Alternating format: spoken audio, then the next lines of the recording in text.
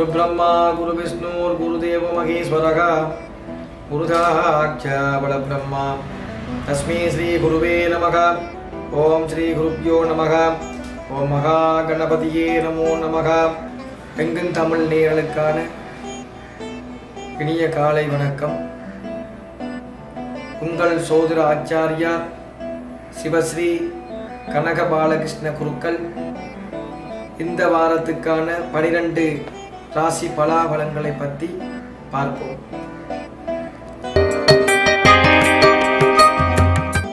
மேடராசி நேயர்களே இந்த வாரத்துக்கான பலாபலன் தன சேர்க்கை ஆபரண லாபம் நீங்கள் ஏதாச்சும் ஒரு பொருட்களை வாங்குவதாக இருந்தால் இந்த வாரத்திலே நீங்கள் வாங்கினால் ஆபரண லாபம் பொருள் லாபம் ஏற்படும். உங்களுடைய மனசிலே குடும்ப சந்தோஷமாக இருப்பீர்கள். வீண் வாக்குவாதங்களால் சர்ச்சை ஏற்படும். உடல் தேக ஆரோக்கியத்தில் கவனம் தேவை. படிக்கின்ற மாணவர்கள் கல்வியிலே முன்னேற்றம் அடைவார்கள். ராசி நேயர்களே இந்த வாரத்திலே உங்களுடைய தேக ஆரோக்கியத்தில் கவனம் தேவை. கண்ணோய் வரக்கூடிய சந்தர்ப்பம் இந்த வாரத்திலே இருக்கின்றது. பணிகளை திறம்பட செய்யும் ஆற்றல் இந்த வாரத்திலே வரும். கல்வியிலே முன்னேற்றம் மாணவர்கள் கல்வியிலே முன்னேற்றம் அடைவார்கள். உடல் ஆரோக்கியத்தில் சிறிய முன்னேற்றம் ஏற்படும்.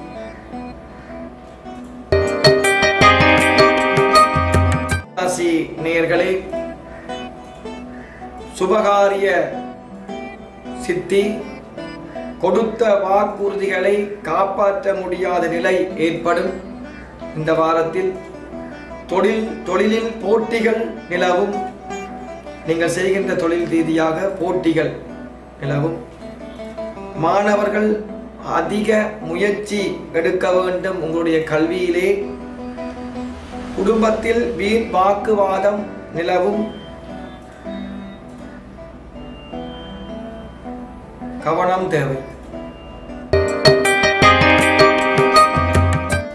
கடகராசி நேயர்களே இந்த வாரத்திலே படிக்கின்ற மாணவர்களுக்கு கல்வி முன்னேற்றம் சிறப்பாக இருக்கும். உத்தியோக ரீதியான மதிப்பு உயர்வும் ஏற்படும். சுப முயற்சிகள் வெற்றி அடையும். உங்களுடைய பூர்வீக சொத்துக்கள் ஏதும் இருந்தால் அசையா சொத்துக்களால் லாபம் ஏற்படும். இந்த வாரத்தில்.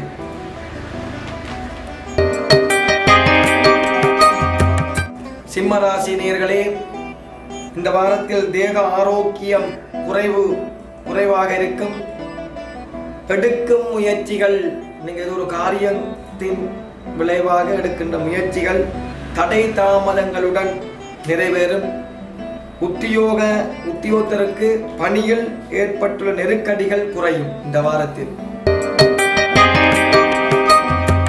கன்னிராசி நேயர்களே இந்த வாரத்தில் ராஜ ஆணுகூலம் ஏற்படும். உத்தியோகத்தில் உயர்வான நிலைமை குடும்பத்தில் ஒற்றுமை ஏற்படும். தேக ஆரோக்கியத்தில் சற்று கவனம் தேவை. வியாபாரிகளுக்கு தா- லாபம் உண்டு. கல்வியில் முன்னேற்றம் முன்னேற்றம் உண்டு படிக்கின்ற மாணவர்களுக்கு இந்த வாரத்தில். துளாராசி நேயர்களே பந்து ஜன நஷ்டம் துக்கம் கொடுக்கல் வாங்கல்களில் கவனம் தேவை. வீண் வாக்குவாதத்தை தவிர்ப்பது நன்று இந்த வாரத்தில். விருச்சிக ராசி நேர்களே அத்தியாவசிய செலவுகள் இந்த வாரத்தில் உண்டு. பெரிய முதலீடுகள் செய்யும் தொழிலில் கவனம் தேவை.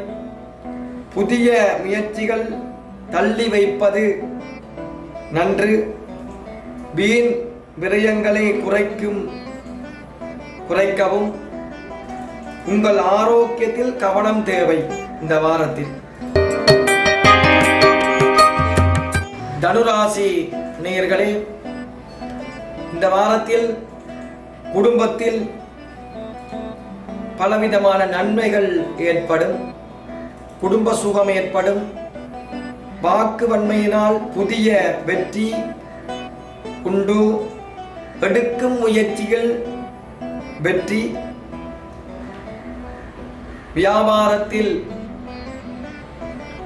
தடை தாமதங்களுடன் லாபங்கள் ஏற்படும். படிக்கின்ற மாணவர்கள் கூடிய கவனம் எடுத்து படிக்க வேண்டும். ஏனெனில் குரு பகவான் ஜென்மத்தில் இருப்பதனாலே இந்த தனுராசி நேயர்கள் குரு பகவானை வழிபாடு செய்யவும் இந்த கிழமைகளில். மகர ராசி நேயர்களே இந்த வாரத்தில் தனவிரயம் மனச்சஞ்சலம் தொழில் வியாபாரத்தில் உள்ளவர்கள் எதிலும் சிந்தித்து செயற்படுதல். லாபம் தரும். பொடுக்கல் வாங்கல்களில் அவதானம் தேவை. கல்வியில் அதித முயற்சி வெற்றி தரும். கும்பராசி நேயர்களே இந்த வாரத்தில் பண வரவுகள் ஓரளவு முன்னேற்றம் தரும். அசையா சொத்துக்களால் லாபம் உண்டோ? எதிலும் சிந்தித்து செயற்படுதல் நன்று. கல்வியில் முன்னேற்றம் ஏற்படும். வியாபாரிகள் பண விடயத்தில் கவனம் தேவை. மீனராசினியர்களே சற்று நிதானத்தை கடைபிடித்து செயலாற்றுவது வெற்றி தரும். வேலை வாய்ப்புகள் இந்த வாரத்தில் உங்களுடைய மனதிலே சந்தோஷத்தை ஏற்படும். பேச்சில் நிதானம் தேவை. அசையா சொத்துக்களால் லாபம் உண்டு. இந்த வாரத்தில் சுபகாரிய சித்தி ஒன்று படிக்கின்ற மாணவர்கள் கல்வியில் முன்னேற்றம் அடைவார்கள்.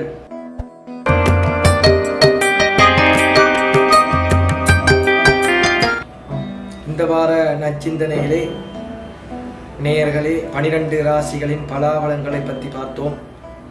நாங்கள் ஒவ்வொரு வாரமும் இந்த பன்னிரண்டு ராசி பலாபலங்களை இந்த வாரத்தில் இந்தந்த பலன் என்று நாங்கள் சொல்லி கொண்டு வர வருகின்றோம். ஆனால் நேயர்களாகி உங்களுடைய மனதிலே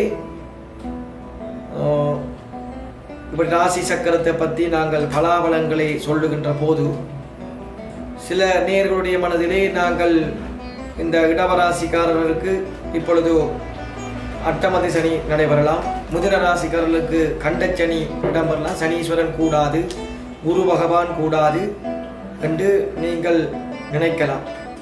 சில இடவராசி ராசிக்காரர்கள் சில மிதுன ராசிக்காரர்கள் சில விதமான ராசிக்காரர்களுக்கு ஒரு கிரகம் கூடாமல் இருந்தால் கூடி சில அந்த ராசியிலே பிறந்தவர்கள் எப்பொழுதுமே சந்தோஷமாக இருப்பார்கள்.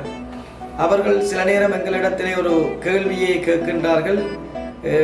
நாங்கள் எங்களுக்கு கண்டச்சனியும் கண்டச்சனியோ எந்த கிரகத்தினாலோ ஏற்பட்டாலும் நாங்கள் தினமும் சந்தோஷமாகத்தான் இருக்கிறோம்.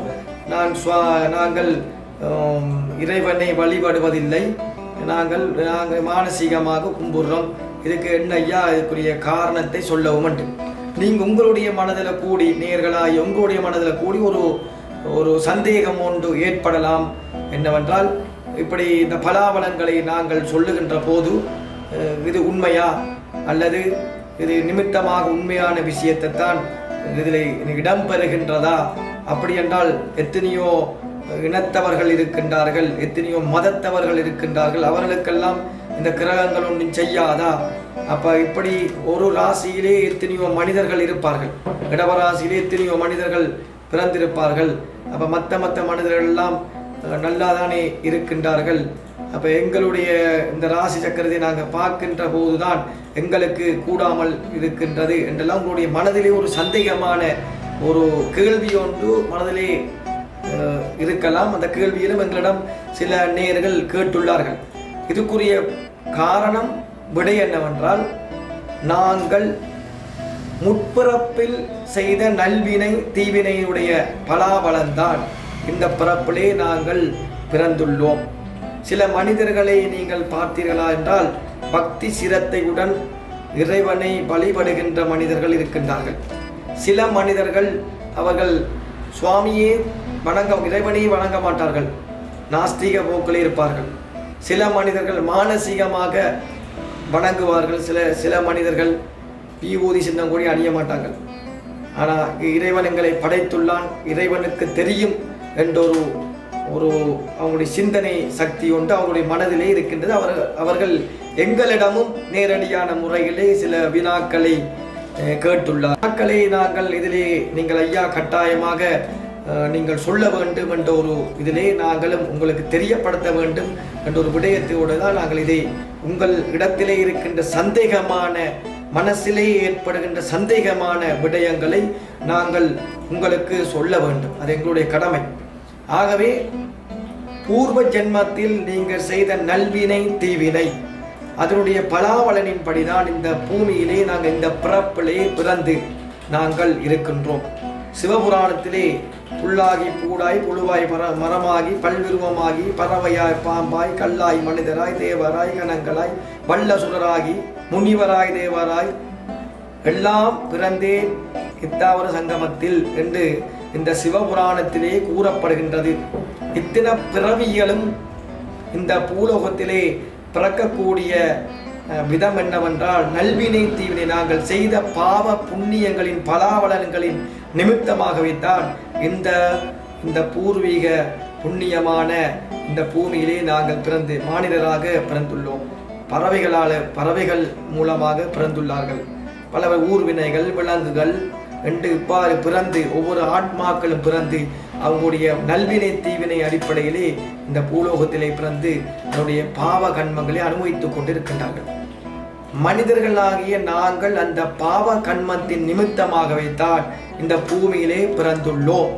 இந்த பூமியிலே பிறந்த மனிதர்கள் சில மனிதர்கள் அவங்கள் இறைவனை கூடி வணங்க மாட்டார்கள். ஆனால் அவங்கள் சந்தோஷமாக இருப்பார்கள். நீங்களே எங்களிடத்திலே ஒரு கேள்வியை கேட்கலாம். நாங்கள் தினமும் இறைவனை வழிபடுகின்றோம். எங்களுக்குத்தான் துன்பம். ஆனால் அவர்கள் இறைவனை வழிபடவில்லை. அவர்கள் தினமும் சந்தோஷமாகவும் நல்ல செல்வந்தர்களாகவும் இருக்கின்றார்கள். இதுக்கு என்ன காரணம் என்று ஒரு கேள்வியை கூடி என்னிடம் கேட்டுள்ளார்கள். அதுக்குரிய காரணம் விடை என்னவென்றால் அவர்கள் பூர்வ ஜென்மத்தில் செய்த புண்ணிய பாவங்கள். நல்வினை தீவினை என்று சொல்வோம். பூர்வ ஜென்மத்தில் செய்த புண்ணிய என்றால் அவர்கள் ஒரு தான தர்மங்களை ஆலயம் கட்டுவது ஏழைகளுக்கு உதவி செய்வது இவ்வாறான பலவிதமான தொண்டுகளை செய்து அவர் இந்த பிறப்பிலே அவருடைய பலாபலங்கள் தான் அவர் இறைவனுடைய அனுக்கிரகம் முழுமையான ஆசீர்வாதத்துடன் இந்த பூமியிலே பிறந்துள்ளார்கள். ஆகவே தான் அவர்களுக்கு அந்த பூர்வ ஜென்ம பலாவலனை நிமித்தமாக அவர்கள் இந்த பிறப்பிலே செல்வந்தர்களாக அவர்கள் பிறந்துள்ளார்கள். சில மனிதர்களுக்கு எப்பொழுதுமே துன்பமாக இருக்கும். அவனுடைய கர்ம வினை ஆகவே தான் இந்த சோதர சக்கரத்திலே ராசி சக்கரத்திலே சொல்லப்பட்டுள்ள அந்த பலாபலங்களை நாங்கள் அதை கணித்து ஒவ்வொரு வாரமும் உங்களுக்கு சொல்லுகின்றோம். இப்படி இப்படி இந்த கிரகத்துக்கு இப்படி ஏற்பட போகின்றது என்று. இது நாங்களாக சொல்லவில்லை. சோதரத்திலே இருக்கின்ற விதி முறைகளின் நிமித்தமாக இதை நாங்கள் சொல்லுகின்றோம். எங்களுடைய வழிபாடு எவ்வளவு தூரத்துக்கு இறைவனுக்கும் எங்களுக்கும் உள்ள நெருக்கம் எவ்வளவு கூடுகின்றதோ இறைவனிடம் நாங்கள் எவ்வளவு கலந்து பிரார்த்தனைகள் ஜெபங்கள் தியானங்கள் எல்லாம் செய்கின்றோமோ அவ்வளவு தூரத்துக்கு இறைவனும் எங்களுக்கு அந்த அனுக்கிரகத்தை உடனடியாக செய்வான். ஆகவே நாங்கள் செய்த பாவ கர்மங்களை நாங்கள் குறைப்பதற்காகவே தான் நாங்கள் ஆலய வழிபாடுகளை செய்கின்றோம். ஆலயத்தில் இடம்பெறுகின்ற விரத அனுஷ்டானங்களை கடைபிடிக்க வேண்டும். ஒவ்வொரு கிழமைகள் என்றாலும் நீங்கள் செவ்வாய் வெள்ளிக்கிழமை என்றாலும் ஆலயத்துக்கு சென்று நீங்கள் வழிபாடு செய்ய வேண்டும். வழிபாடு செய்கின்ற போது எங்களிடத்தில் இருக்கின்ற கர்ம வினைகள் எங் நாங்கள் தெரிந்தோ தெரியாமலோ அறிந்தோ அறியாமையோ செய்கின்ற கர்ம வினைகள் எல்லாம் அகன்று எங்களுக்கு ஓரளவு அண்டாலும் எங்களுடைய கஷ்ட துக்கமெல்லாம் நிவர்த்தியாக இறைவனுடைய ஆசீர்வாதம் கிடைத்து நாங்கள் எங்களுடைய வெற்றி பாதையை நோக்கி செல்லலாம் என்பது நேயர்கள் என்னிடம் கேட்ட கேள்விக்குரிய இந்த விடை இந்த வாரத்திலே ஒரு நச்சிந்தனையாக சொல்லி முடிக்கின்றேன். இந்த வாரத்தினுடைய பனிரெண்டு ராசி பலாபலன்களை பற்றி பார்த்தோம். அடுத்த வாரம் சந்திக்கும் வரை உங்கள் உங்களுடைய சோதராச்சாரியார் சிவஸ்ரீ கனக பாலகிருஷ்ண குருக்கள். நன்றி வணக்கம்.